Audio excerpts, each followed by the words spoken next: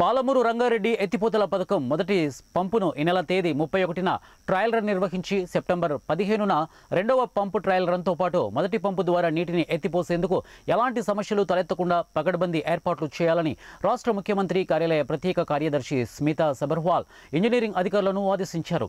సోమవారం నాగర్ కర్నూలు జిల్లా కొల్లాపూర్ నియోజకవర్గ పరిధిలోని కృష్ణానది పరివాహక ప్రాంతంలో గల నాగలాపూర్ వద్ద నిర్మాణంలో ఉన్న పాలమూరు రంగారెడ్డి ఎత్తిపోతల పథకం మొదటి లిఫ్ట్ పనులను అధికారులు ఇంజనీరింగ్ అధికారులు కాంట్రాక్టర్లతో కలిసి ఆమె పరిశీలించారు.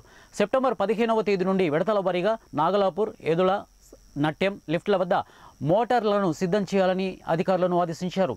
సెప్టెంబర్ పదిహేనున మొదటి పంపు సెప్టెంబర్ ఇరవై ఐదవ తేదీన రెండవ పంపు ద్వారా నీటిని ఎత్తిపోయాలన్న లక్ష్యంతో ముందుకు పోవాలని చెప్పారు. ఇక మూడు రిజర్వాయర్ల పరిధిలో విడతల వారీగా నీటి విడుదలకు మూడు లిఫ్టులకు సంబంధించి ఒక్కో లిఫ్ట్ వద్ద రెండు మోటార్లను సిద్ధం చేయాలని ఆదేశించారు.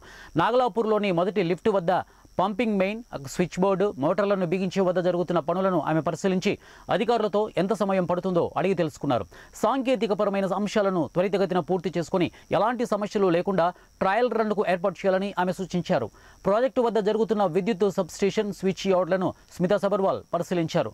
అంతకుముందు నాగలాపూర్ వద్ద గెస్ట్ హౌస్ వద్ద మొదటి లిఫ్ట్కు చెందిన అధికారులు ఇంజనీర్లతో సమీక్ష సమావేశం నిర్వహించారు.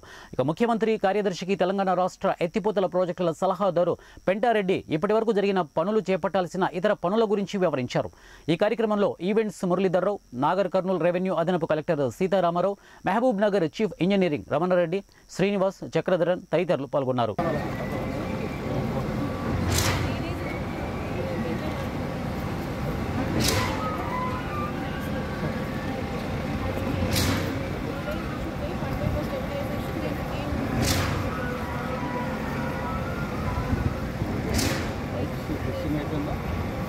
application.